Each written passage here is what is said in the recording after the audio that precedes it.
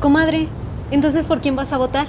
Todos soñamos con un mejor mañana. Para que este se cumpla, tenemos que trabajar unidos. Hagamos nuestros sueños realidad. Este 5 de junio, vota por Omar Fayad, gobernador, candidato de coalición PRI.